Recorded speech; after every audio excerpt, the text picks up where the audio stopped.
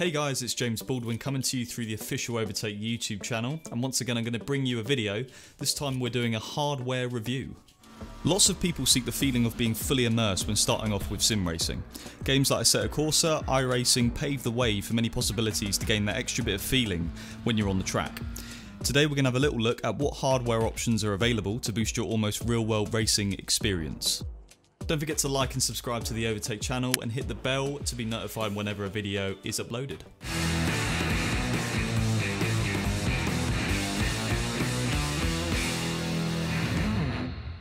We'll start off with a fundamental thing. To feel like you're in a real race car, you have to first own a rig, or at least something that goes in this direction. Building that environment for your racing adventures is a pricey thing and can take a long time. So let's start with the first thing we need to do to assemble a rig. Choosing the right seat for you is very important. Your manufacturer of choice might differ depending on whether you want to mimic a Formula position or a GT position. The very sturdy and robust Playseat products, like the Playseat Ultimate for example, are best used for formula driving.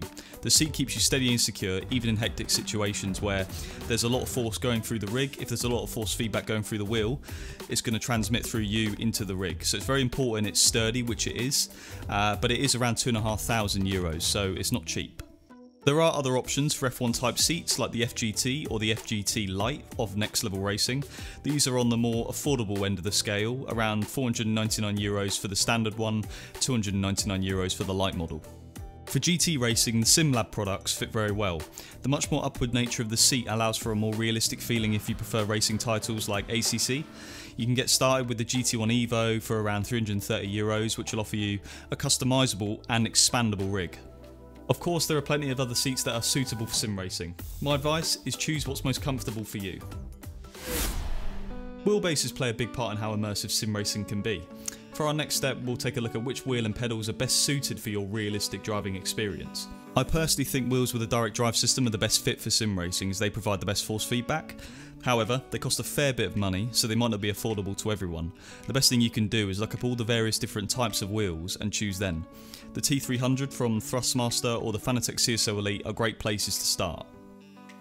If you're looking for maximum immersion, a new set of pedals with load cell brakes might be worth a look. Compared to the cheaper potentiometer based brakes, load cells measure the force that the driver uses when using the brake. The advantage is the accuracy that the brake carries, thus it's better for your immersion. While load cells are a better fit for realism, they can carry a larger price tag.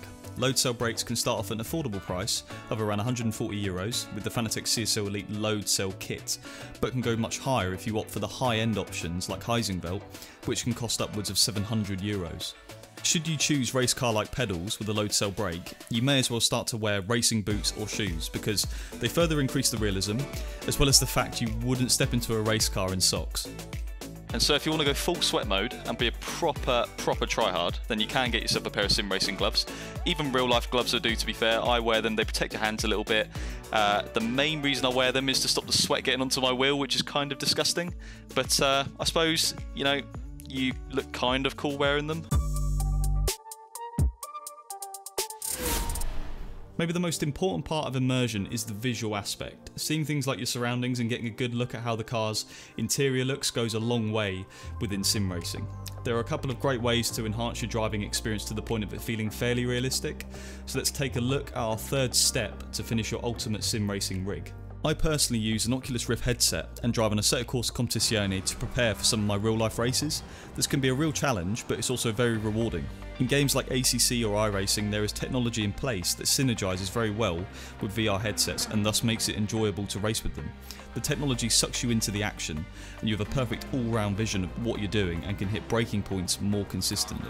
As mentioned, the Oculus Rift for around 490 euros works great for me. Windows mixed reality headsets like the HP Reverb can be good alternatives that are roughly in the same price category.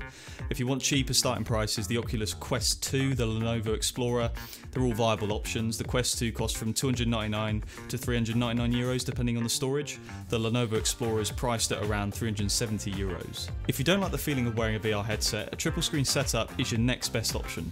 As you've probably seen lots of times, triple screen setups kind of wrap around the driver and create a largely continuous viewing experience for them. Triple screen is further down the immersion scale, but certainly the next best thing if you suffer from motion sickness or just like the freedom of not wearing a VR headset.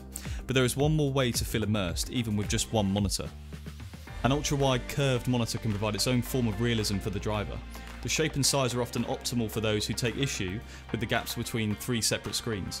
When racing casually, I use the ultra wide monitor as well, because it provides the optimal middle ground between realism and utility. Also important is the resolution and refresh rate that these monitors provide. Now, most monitors either have a 1080p or 1440p resolution, and the refresh rate can vary from 60Hz to 144Hz. Ideally, what you'd want is a 1440p monitor with 144Hz refresh rate. This is very graphically intensive though, and it will require a lot of GPU power. Good options here come by the way of Samsung or LG for example, although again there's dozens of manufacturers so you'll have to see what is the best option for you. While ultra wide monitors are neat, they're the least immersive of the three options, so that's because the overall range is less than VR and triple screens. So if I had to rank the three I've mentioned, it'd be first VR, second triple screen, and then third the ultra wide monitor. Immersion in sim racing is now easily obtainable thanks to the advanced technology that has started to flood into the market. Games like iRacing and ACC provide excellent grounds for a lifelike racing experience, but the heart and soul of immersion is in the hardware. If you go with a good combination of seat, direct drive wheel, better pedals with a load cell brake, and adequate visual assets, you'll feel more like a real racer than you ever have before. The visual aspect is especially important. If you're looking for full immersion, a VR headset is an investment that pays dividends. I can testify that it comes as close as possible to a real life race. Of course, a lot of these things cost a sizable amount of money. If you go for the state of the art equipment, of course, it's going to cost a lot. But there are plenty of comparable manufacturers who offer a good product that are worth their money. Nevertheless, it will still cost you a few quid, so you should prioritise what you want and need the most. There's no right or wrong here, but if you had to make an order, you should start with the pedals, then the wheelbase, then the rig, then the monitor or a VR headset, and lastly the accessories like the gloves and boots. Make sure to look for cheaper alternatives if your budget's smaller. Examples like the Fanatec load cell brakes, the F1 type seats like the FGT, or the FGT Lite or wheelbases from Thrustmaster can be a game changer on their own and will save you a fair bit of money. But anyway, I hope you've learned something today. Don't forget to like the video and sub to the channel, of course. My name is James Baldwin, and I'll see you all very soon.